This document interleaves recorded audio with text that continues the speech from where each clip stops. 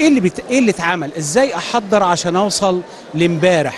10 يناير 2022 بدأنا من إمتى؟ وكان في أفكار إنه صعب قوي نعمل منتدى السنة دي عشان كورونا. إيه اللي تم؟ الحقيقة إنه المنتدى السنة دي له صبغة خاصة. منتدى شباب العالم كرسالة سلام ومنصة للحوار على مستوى العالم.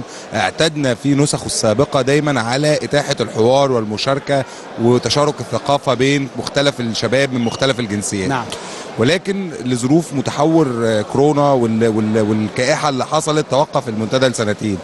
المرة دي كان تحدي كبير جدا. إزاي في ظل الجائحة إزاي في ظل المتحور إنه الدولة المصرية قادرة تنظم حدث بهذا الشكل بهذا الحجم؟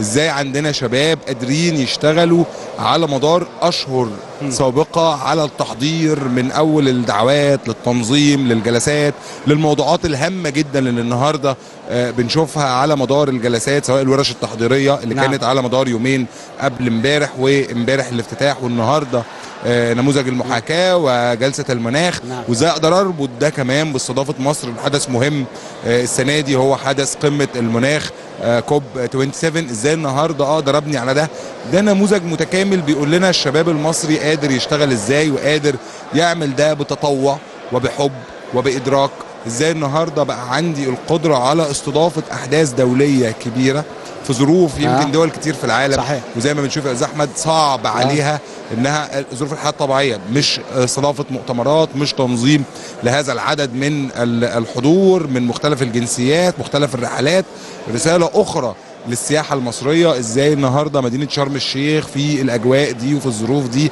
متاحة ودي رسالة إيجابية جدا لها انعكاسات كبيرة على القطاع السياحي.